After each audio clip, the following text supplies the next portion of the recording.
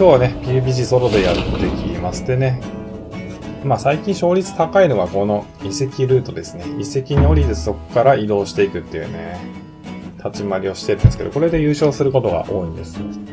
なんでね、今日もここからやってきます。でね、この高台がね、一方的に敵を確認できるんですごい強いなとは。意外とね、武器が多いんですよ、ここ。なんでここ使っていく。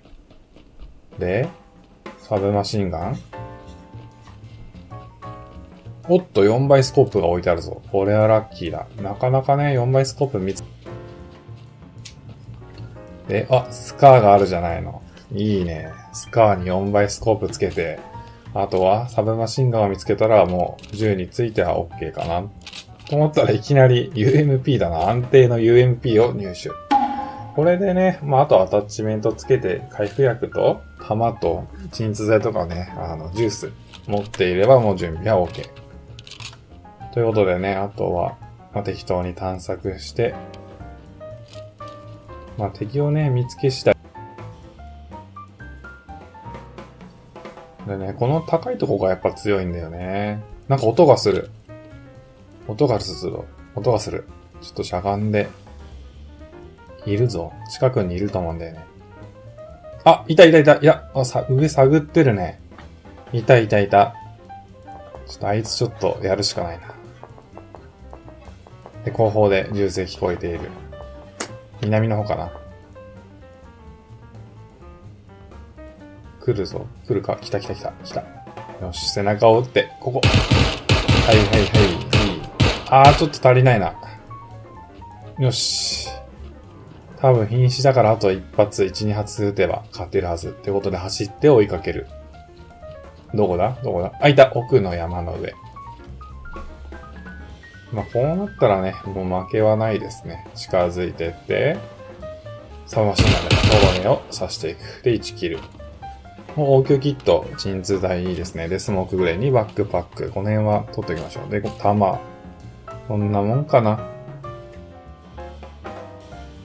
ねここの高いところはほんと強いですね。結構あの、下の様子が遠くまで見えるのとね、近づいてきたやつ、もう一方的にこっちから確認することができるんですよ。向こうからはなかなか視認ができない。で、裏がね、川で挟まれてるんで、裏を取られる心配が少ない。それがね、やっぱ強いっすね。もうほとんど一方的に戦えるっていうね、あ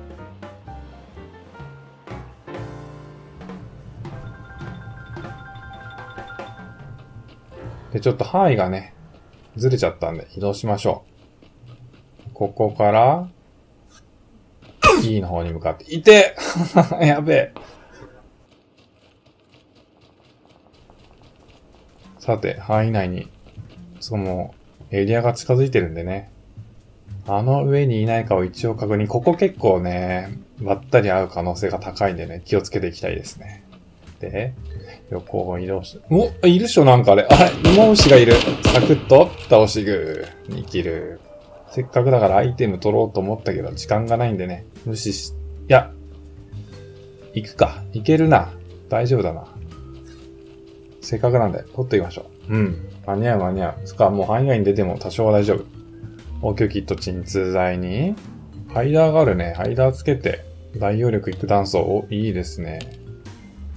フォアグリップつけて、あとスモーク持ってた方がいいね。で、弾を持っていくと。こんなとこかな。よーし。で、範囲内に入っていく。ここがね、ここ結構いるんでね、気をつけた方がいいんですよね。で、後ろはいない。お、あ、いるじゃん。ちょっと待って。いるいるいるいる。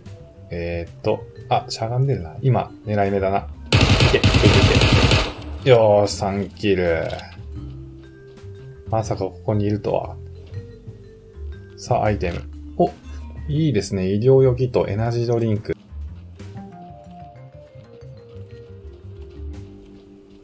車使っていくか。あ、銃声が聞こえる。後ろかな。お。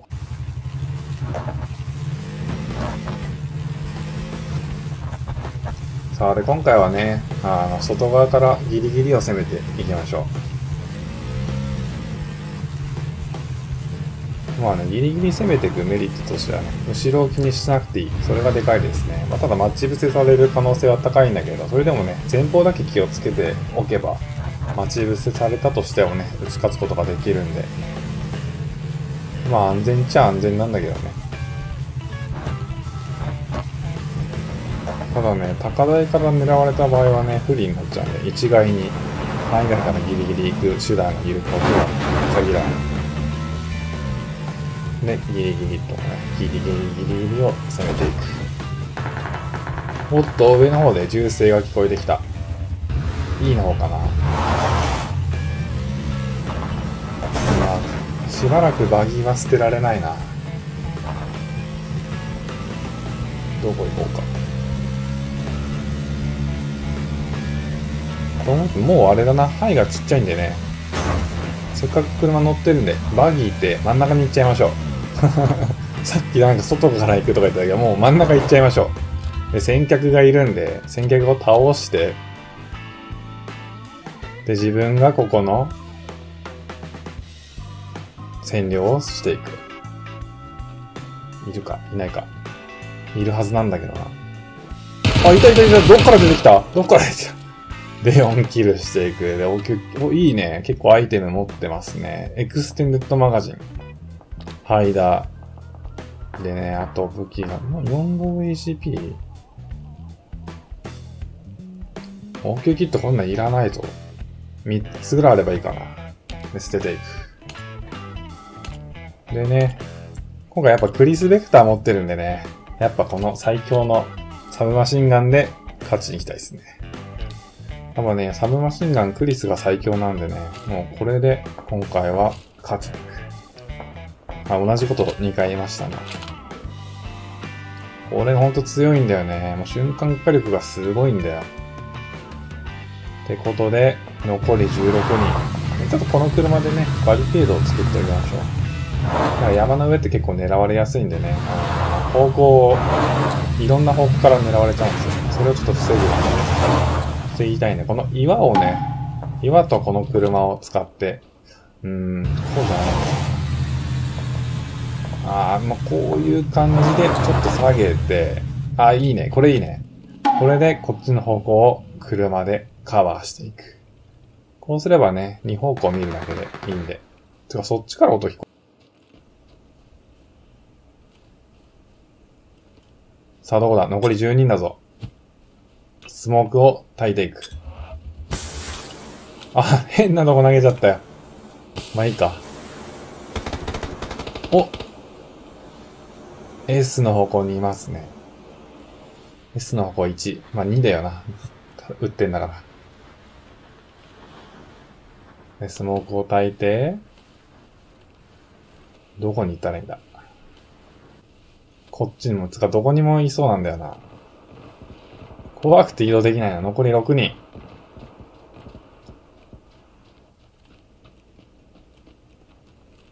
さあ、どこで、あ、いたいた、いたいた、びっくりした、びっくりした。あの木の裏いるじゃん。よし、ベクターで突っ込んで、倒しちゃいましょう。さあ、瞬間火力、最強のベクターで、サクッとキルしていく。で、あとどこだ？いや、ちょっとだまずいな。外側から入ろう。まだ時間はたっぷりあるからね。30秒使って、円の外側から攻めていく。ね、自分の車の周辺で、ゆっくりと索敵をしていく。奥の方かなダブル。S、S だな。S にいる。S に2人。で、残り4人。残り4人だから自分以外が3人いて、こっちに2人。残り1人どこにいるのかわかんないな。ちょっと裏から撃たれることだけは避けていきたい。残り6秒。範囲が狭くなる。